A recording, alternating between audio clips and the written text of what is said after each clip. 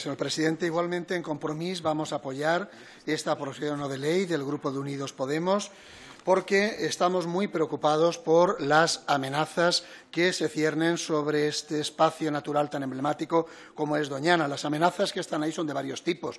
La sobreexplotación hídrica, la agricultura intensiva, el impacto de las infraestructuras del transporte y ahora un almacén de gas natural que efectivamente, como ha indicado el señor Postius, nos recuerda a experiencias que ya hemos vivido en el litoral valenciano, el litoral catalán, con el famoso proyecto Castor, que como todos ustedes saben, provocó un aumento de la actividad sísmica en la zona y acabó mal, acabó mal para los bolsillos de los contribuyentes porque nos costó 1.300 millones de euros que tuvimos que abonar a la empresa concesionaria.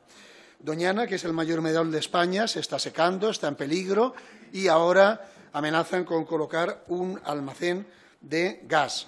Nosotros vamos a apoyar la aprobación no de ley y, además, sí que apuntamos que esta comisión eh, deberá, a lo largo de la legislatura, plantearse otras medidas para evitar que el espacio de Doñana eh, acabe siendo un desierto, siendo un erial. Y en ese sentido ya indicamos que eh, más adelante sí que plantearemos el estudio de otras iniciativas que irán en esta dirección y en general en la protección de los humedales de nuestro país. Muchas gracias. Muchas gracias, señor Batallé. Esto tiene palabra también